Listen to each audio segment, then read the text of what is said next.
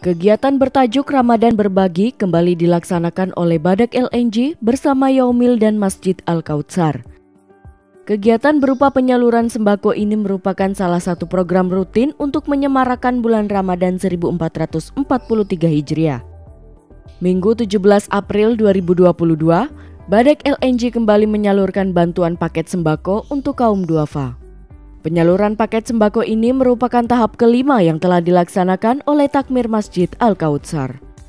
Sasaran kegiatan kali ini ialah para mu'alaf yang berada di wilayah RT 9 Kelurahan Kanaan.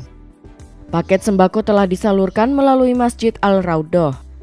Warga RT 9, Muti Ali, menyampaikan ucapan terima kasih atas paket sembako yang diberikan oleh Badak LNG.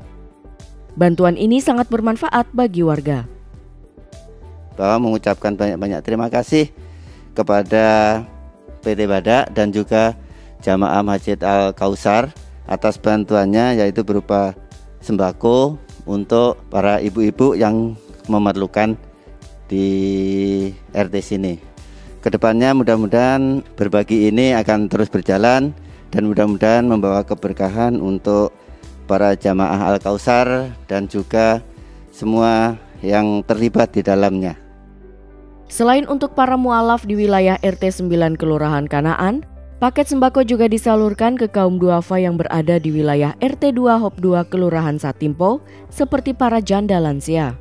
Ketua RT 17 Chandra memberikan apresiasi atas kepedulian dan bantuan paket sembako dari Badak LNG yang sangat bermanfaat bagi warganya yang membutuhkan.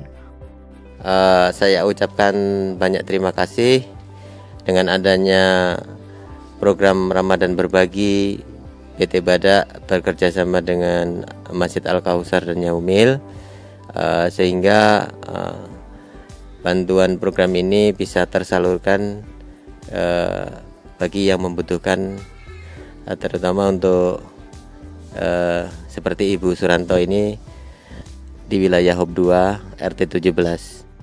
Sementara itu, penyaluran paket sembako tahap ke-6 yang dilaksanakan pada Sabtu 23 April 2022 menyasar warga di Kampung Gotong Royong, Kelurahan Belimbing. Paket sembako ini telah diserahkan melalui Musola Jabal Rahmah.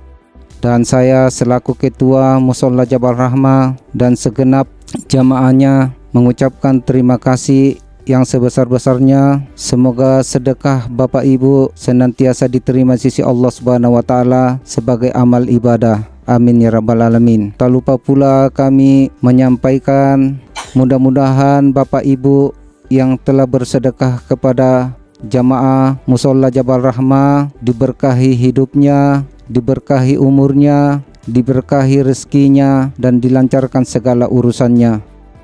Setelah itu, takmir Masjid Al-Kautsar menuju Desa Pagung, Kelurahan Bontang Lestari.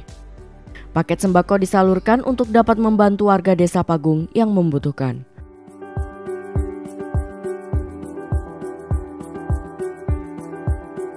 Tim Liputan LNG TV